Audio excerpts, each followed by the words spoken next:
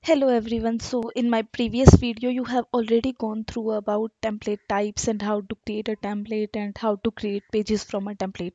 So in this video we are talking about a very interesting feature of template editors which is policy. So there are two types of policy that a template talks about. So one is template level policy and one is component level policy. So we will start from the template level policy. So this is my template. Yes this is my template. So in the template if we go to the page design we can see that we can add now client side libraries dynamically.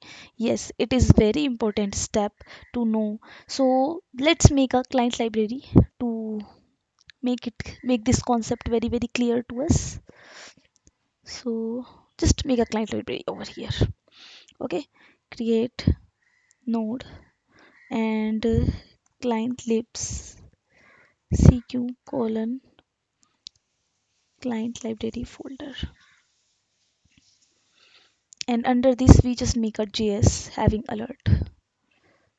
Js.txt here we will have my test.js we will create a test.js test.js here we will having a alert.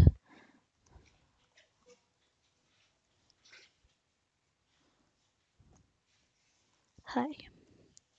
So i can add a categories here. Categories. And this is apps.my project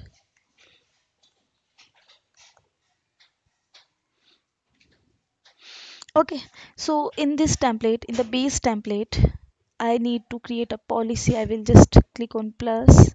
I will create a policy like client libs something like client libs anything. My project client libs pro, my project client libs we can add a description if we want to and we can add a client lib over here like apps dot my project. So if we go here okay yes my client lib is getting loaded and all the pages created from this particular template is getting loaded. So there is one more thing that i have added a policy over here. So if we go to the structure under conf we are talking about template level policy. So if we go to the policies we will see that there is a hierarchy. This hierarchy is exactly like exactly like the sling resource type we have defined over here. So in the base template we can see that under jcr content we are having a hierarchy my project components page page. So it will be having same same X structure and it will be a unique policy. And here we will define client libs so this is a this uh, policy can be defined by a template author. But yes developer can also define client libraries as we can see that it is the same structure. So we can also define the client uh, we can also define the policy. We can create the node structure. And there is very important step is here if we want to have this particular policy. So my policy start from here. Sorry let me just see once so there is a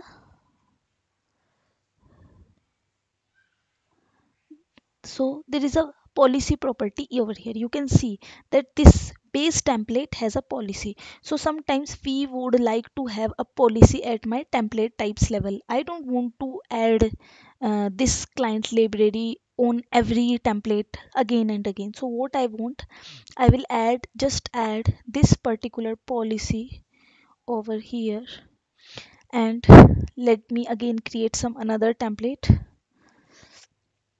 So if I create some another template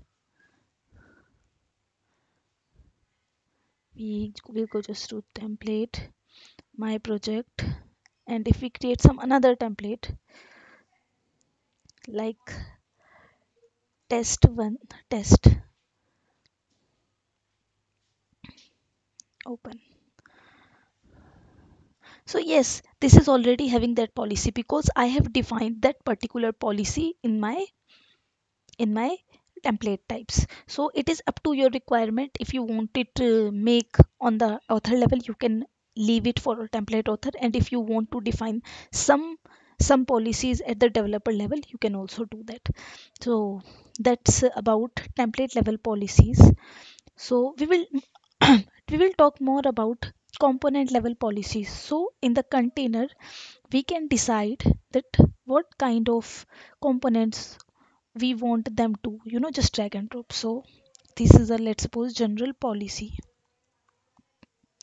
We can add a description over here. We have just selected a group here. We can just select some components from here. We can click on ok so these all components will be allowed in this particular container. So if i go to that particular page i need to drag and drop only these components by the page author. Page author cannot drag and drop the components as per their you know as they want. They just need to restrict themselves to template authors. So this is again an advantage. So this is a component level policy. So we will also look into the hierarchy of this component level policy. We will go under policies. So before seeing the this we just need to learn. So this is my root i am talking about the policy for this particular container. So what is the sling resource type of this container? Wcm foundation components responsive grid. So under policy there should be wcm foundation components responsive grid and there should be a policy. So in the policy i have defined the group and some of the components you can see these over things over there and I have added this particular policy in my base template. So what you can where you can see this you can go to the policies JCR content and root and at the root level you can see that there is a policy defined.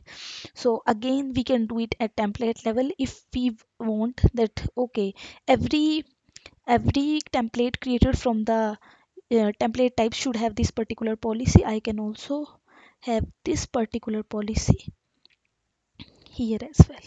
So this is up to the requirement. There is no hard and fast rule. Every project had has its own requirement. So these all things i have. One more, more important thing which can we can see over here. So this is my template. So in the template properties you can just have thumbnail. So if there is some image to upload pictures saved pictures. I cannot see any of the picture. So if there is some picture okay on the desktop i can see something.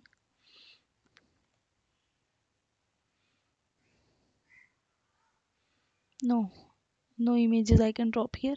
So we can just have some image over here and we can have a thumbnail image of a particular template.